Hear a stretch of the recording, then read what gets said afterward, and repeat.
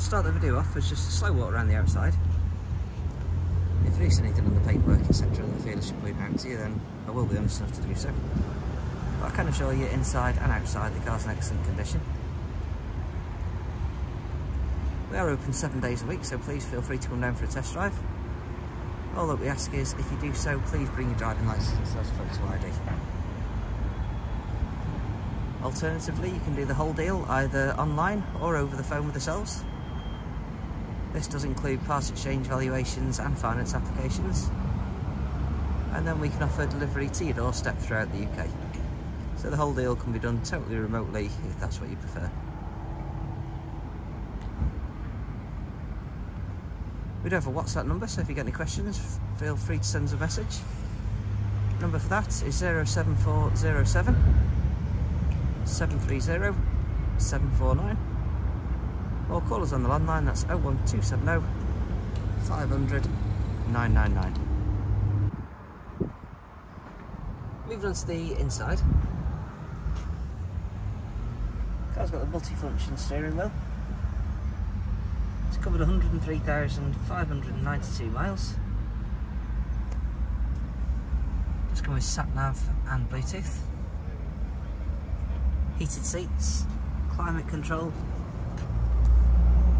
See there the full black leather, which is all in excellent condition.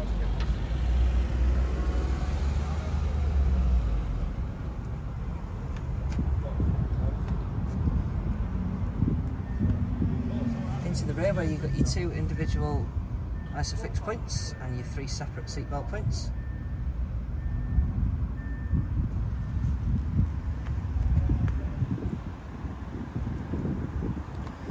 Sized boot with these as well. Split folding rear seats. As you can see there, parcel shelf is also present.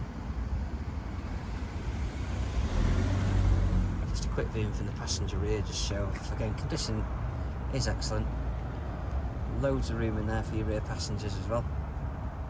There's no adverse smells inside the car either, so there's certainly no dog or cigarette smells, etc. No marks or scuffs on the dash or plastics.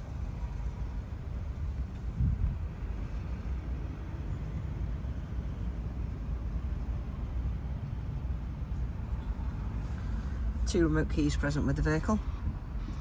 V5 is also present. As you can see there, the car's had one former keeper from new.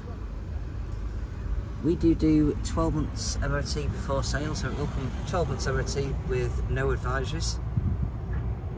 And we also complete a service, so it does go with a full clean bill of health. I appreciate you can't see a great deal under the video on the bonnet. Going to show you coolant's clear. Certainly no oil leaks and everything does as it should.